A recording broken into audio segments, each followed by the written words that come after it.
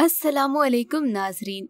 Drama serial Chupke Chupke से करोड़ों दिलों की धड़कन बन जाने वाले उस्मान खालिद भट्ट ने अपने करियर का आगाज़ ऑन जारा से किया।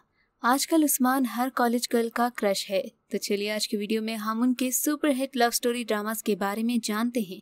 लेकिन वीडियो का आगाज़ करने से पहले हमारा चैनल सब्सक्राइब करके बेल आइकन को प्रेस कर दें, ताकि हम आपकी इंटरटेनमेंट के लिए हर पल आपकी स्क्रीन पर मौजूद रहें।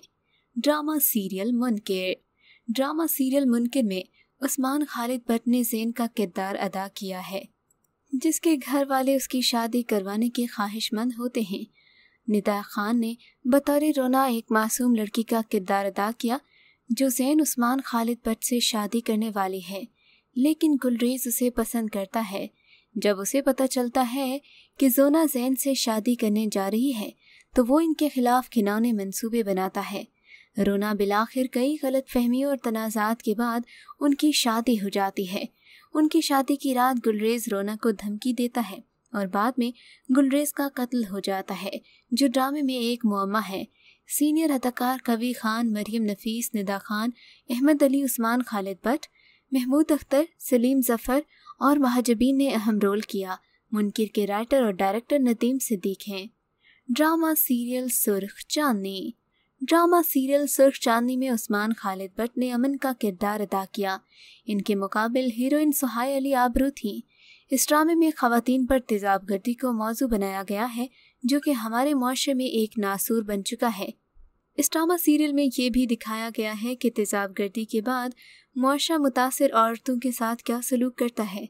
आयदा यानी कि सुहाय अली आबरू अपने कज़न अमान उस्मान खालिद भट्ट के साथ वक्त गुजारना चाहते हैं। भाई और भाभी की मुखालिफत के बावजूद आयदा के वालदेन उसका रिश्ता अमान के साथ तय कर देते हैं। शुमाइला जो कि आयदा की भाभी है, किसी न किसी तरह रिश्ता एक आवारा लड़के जवाद से करना चाहती हैं ताकि कुछ मुआशी फ़ायदे हासिल हो सके और किसी न किसी तरह आयदा के साथ होने वाले जुल्म में वो भी शरीक है।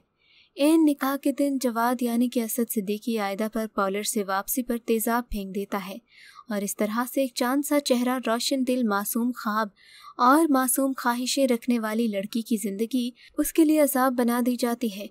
ड्रामे के प्रोड्यूसर समीना हुमायूं सईद और सना शाहनवाज हैं, जबकि डायरेक्टर शाहिद शफात हैं। इसकी कास्ट में उस्मान खालिद भट्ट सुहाय अली आबरू, असद सिद्दीकी, मनशा पाशा, लुबना असलम, राशिद फारूकी और हसन अहमद शामिल हैं। Drama serial Sanam. Drama serial Sanam में उस्मान खालिद भट्ट ने हारिब का किरदार अदा किया है। आयला यानी कि हरीम फारूक एक बहुत ही बोल्ड लड़की है। अपनी पसंद से हारिब से शादी के बंधन में बंधकर काफ़ी खुश है। मगर ये खुशी शादी की पहली रात ही बेयकीनी में तब्दील हो जाती है।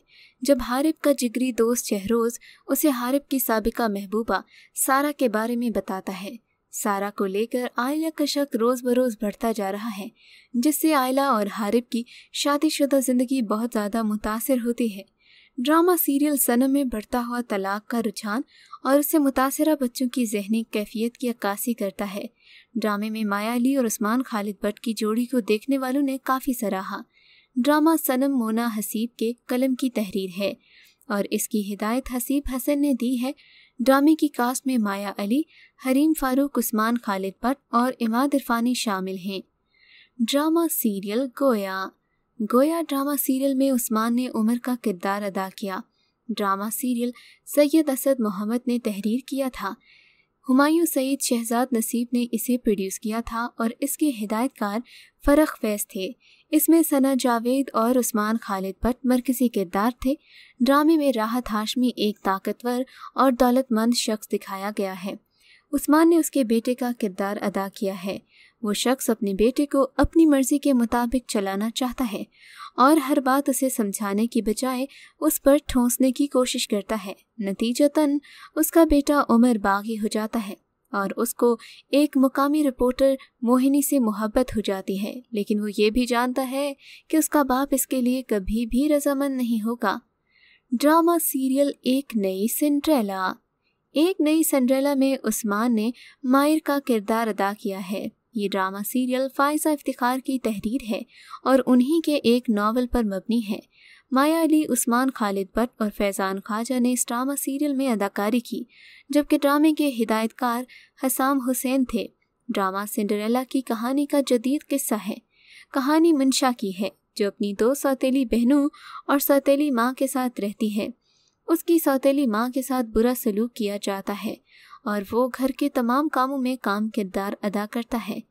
मंशा बहादुर और अमीर मायर यानी कि उस्मान खालिद भट्ट से इम्प्रेस होती है। मंशा ये सोचकर कि वो उसका दिलकश राजकुमार है, उसे बचाने आता है और उसकी तमाम परेशानियों का खात्मा कर चुका है। उसका दिल जीतने की कोशिश करता है। मायर उससे प्यार करता है। उससे एक बार मुलाकात भी की थी, लेकिन वो उसे पहचान नहीं सकी, क्योंकि मंशा ने उससे मिलते ही उसका चेहरा ढांप लिया था।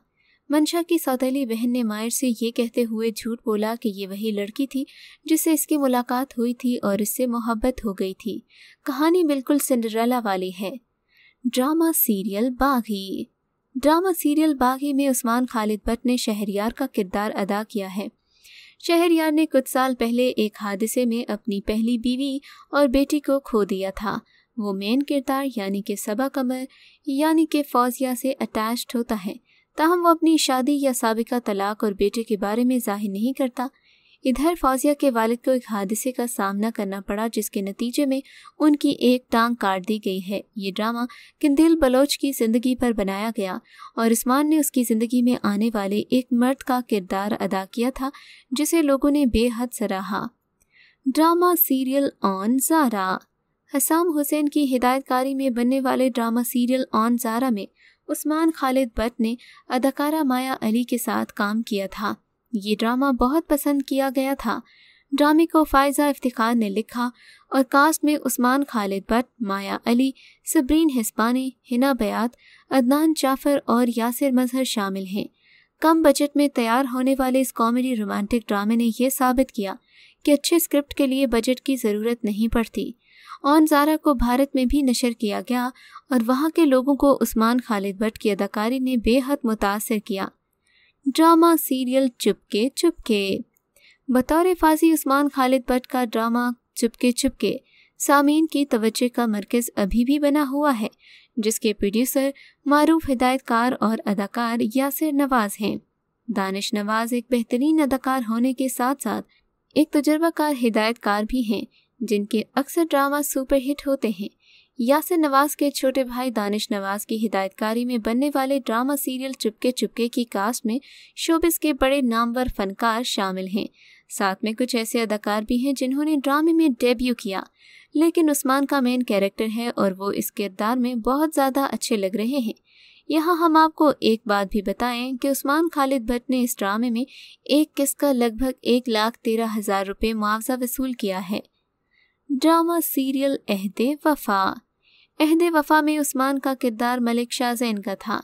इस ड्रामे में कहानी चार दोस्तों के गिर्द घूमती है, जो कॉलेज में तो इकट्ठे थे, मगर फिर एक वाक्य के बाद उनकी दोस्ती मुतासर होती है और वो अलग हो जाते हैं। लेकिन दोस्ती में वो खुद को एस एस जी कहते हैं, क्योंकि इन सब के नाम अंग्रेज़ी हरूफ एस से शुरू होते हैं। उस्मान खालिद भट्ट का किरदार शाहजैन जागीरदाराना घराने से ताल्लुक़ रखता है। पाकिस्तानी फौज के शोबा आईएसपीआर और हम नेटवर्क के इश्तराक से बनने वाले ड्रामा अहद वफा ने उस्मान की मकबूलियत में बेपनाह इजाफा किया। सैफी हसन की अदाकारी में बनने वाले इस ड्रामे को मुस्तफ़ा आफरीदी ने तहरीर किया, जो इससे कबल हम टीवी से ही नशर होने वाले मशहूर ड्रामे आँगन के भी मुसनफ़ हैं।